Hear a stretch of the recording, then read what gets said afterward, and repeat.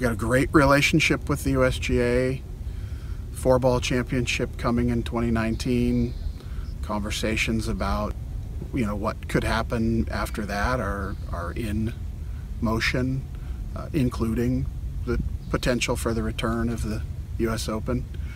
Um, and you know we know that the putting greens you know are, are an area of concern and and not just for future championships but for our customers and that's why we're working so hard and making the progress that we are.